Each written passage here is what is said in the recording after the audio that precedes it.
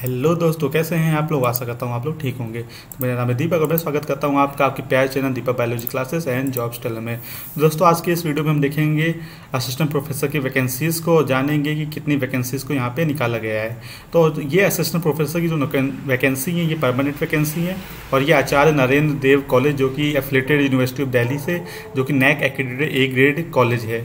ठीक है तो यहाँ पे आप देख सकते हैं कि 19 अप्रैल को ये नोटिफिकेशन आया था इसमें आप देख सकते हैं, इन्होंने लिखा है online application invited in the application form available at online link तो ये लिंक आपको दिया रखा है तो आपको यहाँ पे जाके अपना जो एप्लीकेशन फॉर्म फिलअप करना है for the post of assistant professor on permanent basis तो देखिए, यहाँ पे इन्होंने मैंशन कर रखा है कि ये जो जॉब है असिस्टेंट प्रोफेसर की परमानेंट जॉब है यहाँ पे, ठीक है?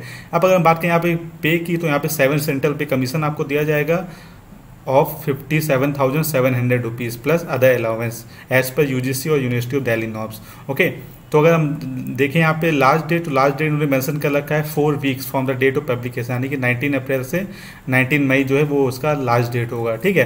तो देखिए, अगर यहाँ पे बात करें हम डिपार्टमेंट्स की तो यहाँ पे देखिए डिफरेंट जो डिपार्टमेंट है, चाहे बायोमेडिकल साइंस चाहे बॉटनी केमिस्ट्री कॉमर्स तो ऑलमोस्ट जितने भी सब्जेक्ट है सबके लिए यहाँ पे वैकेंसीज को निकाला गया है।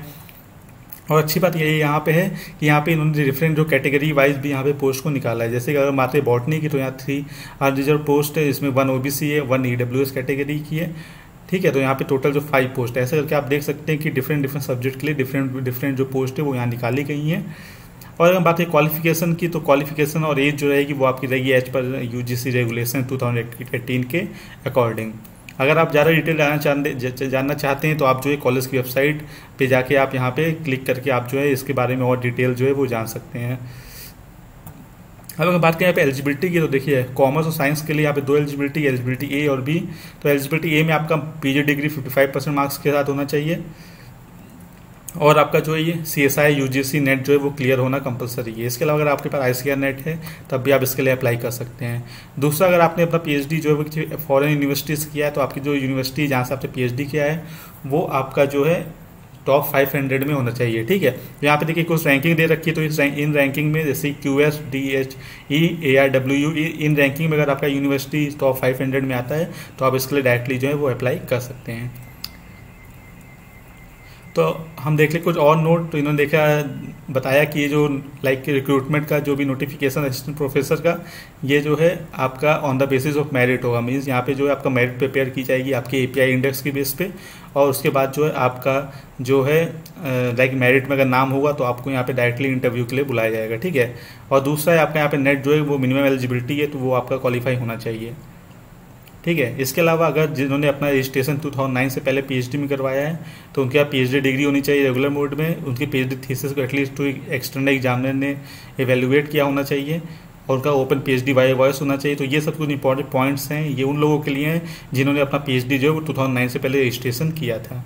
ठीक है? तो ये सब इंपॉर्टेंट पॉइंट है जो हमने आपके साथ ऑलरेडी डिस्कस कर लिए हैं। तो अगर अगर पीएचडी डिग्री में 55 परसेंट मार्क्स होने चाहिए, वहीं अगर आप एस सी एस टी से बिलोंग करते हैं तो आपको यहाँ पे जो फाइव परसेंट का रिलैक्सेशन दिया जाएगा, ठीक है? तो ये कुछ इंपॉर्टेंट पॉइंट्स जो मैंने आपके डिस्कस कर लिए हैं और कुछ मैं बता देता हूँ इंपॉर्टेंट पॉइंट्स अगर और हैं। अब देखिए, यहाँ पे एप्लीकेशन फ़ी की अगर बात करें तो यहाँ पे जो एप्लीकेशन फ़ी है, वो आपकी 500 रहेगी यू आर यानी अनरिजर्व ओबीसी और ईडब्ल्यू e कैटेगरी के लिए। वहीं अगर आप एस सी एस टी या पीडब्ल्यूडी या वुमेन एप्लीकेंट है तो आपको यहाँ पे कोई भी फ़ी जो है वो पे नहीं करनी है, ठीक है? तो ये सब कुछ इंपॉर्टेंट पॉइंट्स थे। तो देखिए, यहाँ पे इन्होंने बोला कि the short list candidate call for interview should report along with all the testimonials certificate in original along with photo ID ठीक है? तो यहाँ पे अगर आपका शॉर्ट लिस्ट होता है, आपका नाम मेरिट में आता है तो आपको यहाँ पे अपने जितने टेस्टिमोनियल हैं या सर्टिफिकेट हैं ओरिजिनल आपको कैरी करने along with your photo I card और साथ ही साथ आपको जो है जीरोक्स भी अपने सर्टिफिकेट टेस्टिमोनियल्स की भी लेके जानी है, ठीक है at the time of interview clear तो ये सब कुछ इंपॉर्टेंट पॉइंट है इसके बाद हम कुछ और देख लेते तो ये आपका रहेगा ईपीआई इंडेक्स यानी कि इस बेस पे जो है आपका सिलेक्शन होगा।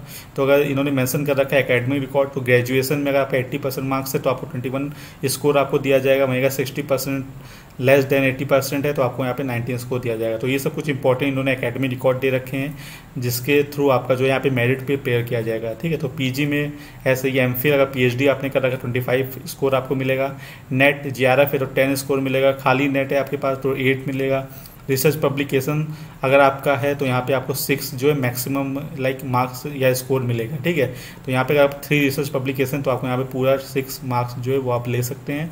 ऐसे अगर आपका टीचिंग या पोस्ट डॉक्टर एक्सपीरियंस है तो यहाँ पे मैक्सिमम आपको टेन मार्क्स मिलेगा या टेन स्कोर मिलेगा। इसके अलावा आपको कोई इंटरनेशनल या नेशनल लेवल का अवार्ड दिया गया है गवर्नमेंट ऑफ़ इंडिया से तो आपको यहाँ पे थ्री मार्क्स मिलेगा।